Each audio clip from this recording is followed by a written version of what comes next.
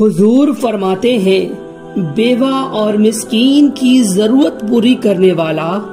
अल्लाह के रास्ते के मुजाहिद की तरह या तो दिन में रोजा रखने वाले